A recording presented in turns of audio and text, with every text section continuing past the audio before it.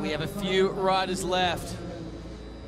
And this could determine who walks away with the number one position. PLG's six-time skateboard vert gold medalist, no stranger whatsoever, had a rough start to the year, but finally found his feet on his board.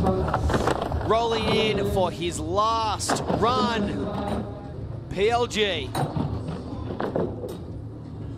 Setting up backside air. There's the kickflip body rail five. This is the same run that we saw before. What do you think he's going to try and mix it up on here? Uh, I think we might see a 720. No, that would have been it if we saw it.